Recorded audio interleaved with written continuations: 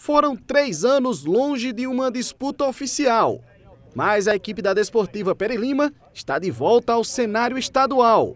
Tudo graças a uma parceria entre a equipe com o Grêmio Serrano, que este ano disputou a primeira divisão do Campeonato Paraibano. Eu sempre converso com o Pedro a respeito de futebol e a gente via a necessidade de começar um projeto antecipado para que visasse o Serrano na próxima no Campeonato 2018.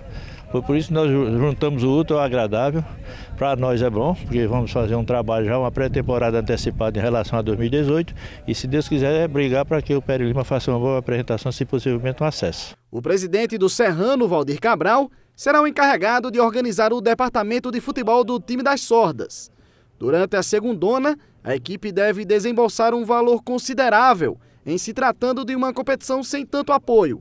De básica, assim, uma média de 100 mil reais para você realmente fazer uma segunda divisão, pensando nos objetivos. Se você não tiver esse objetivo ou um projeto de buscar dinheiro para investir no futebol, dificilmente você tem aquilo que você deseja.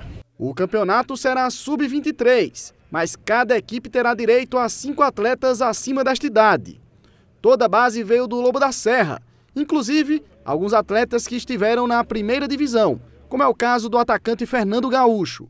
Novo desafio, é a segunda vez disputando essa segunda divisão. Conseguiu acesso com o Serrano, né? E agora novamente defendendo os acordos do Perilima para que a gente possa fazer um grande trabalho em busca desse meu 13 terceiro acesso na carreira.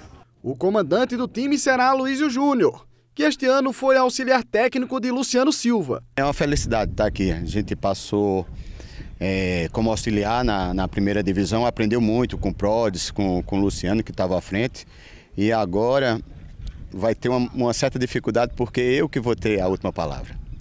Então, é, vamos esperar aí para ver o que acontece. Embora por aqui a Pere Lima esteja sendo comandada pelo grupo do Serrano, a responsabilidade de representar o time de São Pedro é grande. É uma equipe que é conhecida em todo o país. É, a gente vê, com, como você falou, é, tinha a figura do, do Pedro, é, o pessoal até achava graça, vinha já com, a, com aquelas brincadeiras com o seu Pedro, mas agora a coisa é mais sério, é uma molecada mais nova e a gente espera subir. O time das sordas está no grupo do Agreste e terá pela frente a Picuiense e o Esporte Campina. Caso o principal objetivo seja conquistado, que é a volta à primeira divisão, alguns devem voltar para o Serrano e outros podem permanecer por aqui. Aí é como se diz, aquele que optar pelo Peri Lima fica, o que optar pelo Serrano faz, porque aí a questão, a lei da oferta, e quem oferecer melhor, com certeza o jogador vai se adequar a esse trabalho.